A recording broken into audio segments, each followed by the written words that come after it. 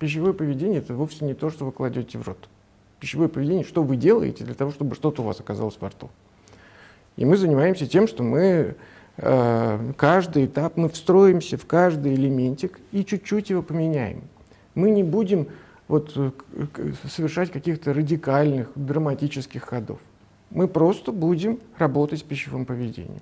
Научимся справляться с тревогой, э, научимся испытывать э, действительно приятные ощущения от вкусной еды, перестанем есть, но если что-то вредное, оно же не еда. Поэтому мы будем э, последовательно менять все элементы, связанные с пищевым поведением. Вот. Не торопитесь. Вы эти килограммы копили, э, я думаю, не один день. Вот. Э, давайте 21 день спокойно пройдем, поделаем кое-чего совершенно ненатужные.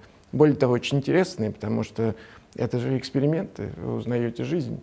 А питание – это вообще одна из важнейших э, частей жизни. Да? Другое дело, что э, сейчас это для вас э, еда – это страсть, раз вы не можете отказаться, и ненависть потому что вы себя потом ненавидите за то, что она вас соблазняет. Это такой э, э, дьявол сам воплоти, так сказать, соблазнительный и, значит, э, повергающий, так сказать, в бездну.